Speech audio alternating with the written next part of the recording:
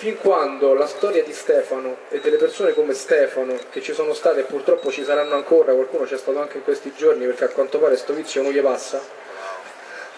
fin quando fin quando questa cosa noi la, la, ascolteremo soltanto al telegiornale, cioè mentre mamma butta la pasta, mentre tu stai a fare le cose tue e senti passare una notizia e dici bah certo porello sto ragazzo, oppure mazza meno male che è morto sto ragazzo perché un sacco di gente la pensa pure così, quando io ti costringo a vedere una, quel ragazzo to- tornare in vita e a pensare che quel ragazzo potrebbe essere tuo figlio, tuo fratello, tuo cugino, allora lì la musica cambia se tu restituisci la vita a una persona che non c'è più, costringi le persone ad avere a che fare con lui in una maniera vera, intima. E allora questa funziona, questo è il miracolo che fa il cinema.